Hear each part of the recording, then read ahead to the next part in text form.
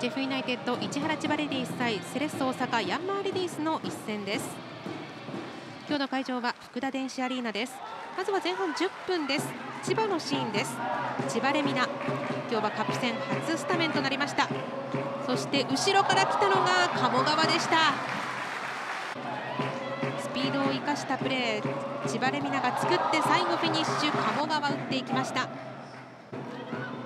続いて22分セレッソのシーンです。小山しのみ左から運動量のある田中。田中粘ったところ落としたところに宮本が待っていました。中盤からミドルを狙っていました宮本です。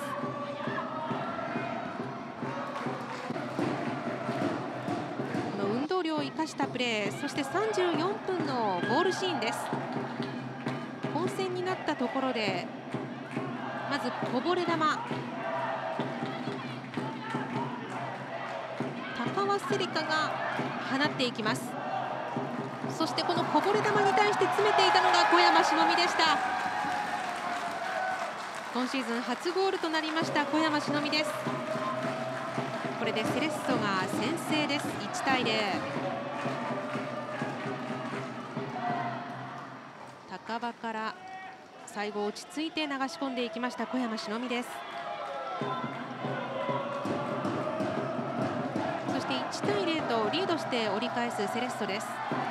なんとか反撃のチャンスをつかみたい千葉。そして追加点を狙いたいセレッソ。49分のシーンです。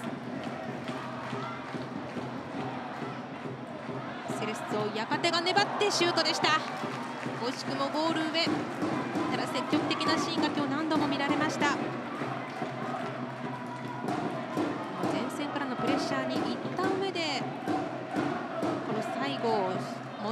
ゴールも狙っています。館。えそしてこちらセレッソのフリーキックからの得点シーン。途中交代で入った白垣でした。白垣は現在17歳です。牧坂のフリーキックから大外。最後混戦になったところこぼれたところを白垣うどん落ち着いて決めました。そして77分今度は千葉のシーンです。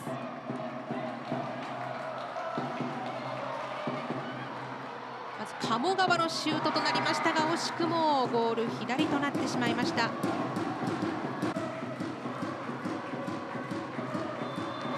千葉対セレッソの一戦は2対0でセレッソが勝利しました。